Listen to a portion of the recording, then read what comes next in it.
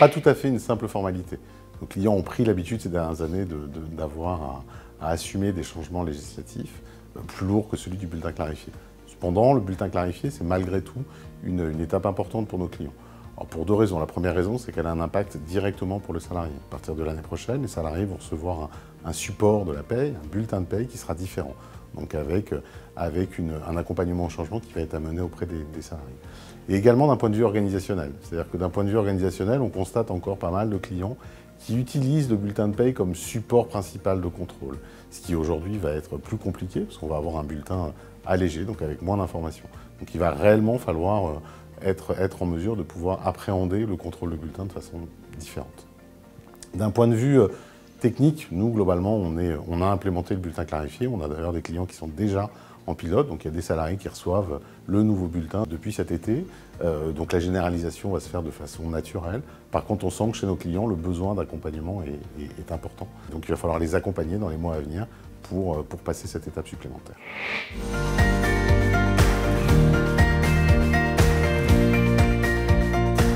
La retenue à la source, c'est un autre sujet. Alors, véritable serpent de mer, la retenue à la source, pour une raison assez simple, c'est qu'on ne sait pas encore au jour d'aujourd'hui si euh, elle aura vraiment lieu si, cette, euh, si, si, la loi passera. On rentre en période électorale, donc euh, on a l'habitude de gérer ces périodes-là et on est dans l'attente. Côté CGD SRH, alors on est plutôt en avance de phase car on a déjà, euh, on délivre la paye dans des pays qui sont déjà en retenue à la source, notamment l'Angleterre et la Suisse. Donc on a déjà cette première expérience sur la retenue à la source. Par contre, comment est-ce que ceci va être implémenté en France? On ne le sait pas encore. Donc voilà, donc on est prêt. Nos clients ont l'habitude de, ce type de changement et savent qu'ils peuvent compter sur nous pour pouvoir être prêts au bon moment avec les bonnes solutions et assumer sans aucun problème ces passages législatifs importants.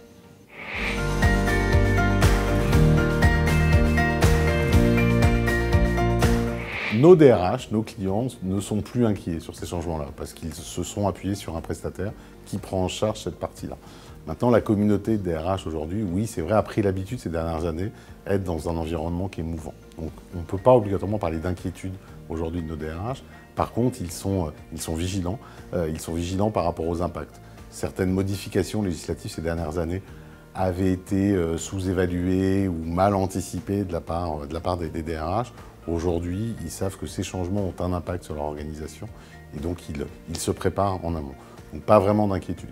Par contre, aujourd'hui, les DRH sont inquiets parce qu'ils ils savent qu'ils ont de nouveaux enjeux euh, à intégrer, euh, notamment sur la digitalisation, des méthodes de travail différentes. Donc euh, oui, de l'inquiétude chez les DRH, mais pas vraiment sur la partie évolution du cadre réglementaire, beaucoup plus sur un changement de pratique inéluctable dans les années à venir.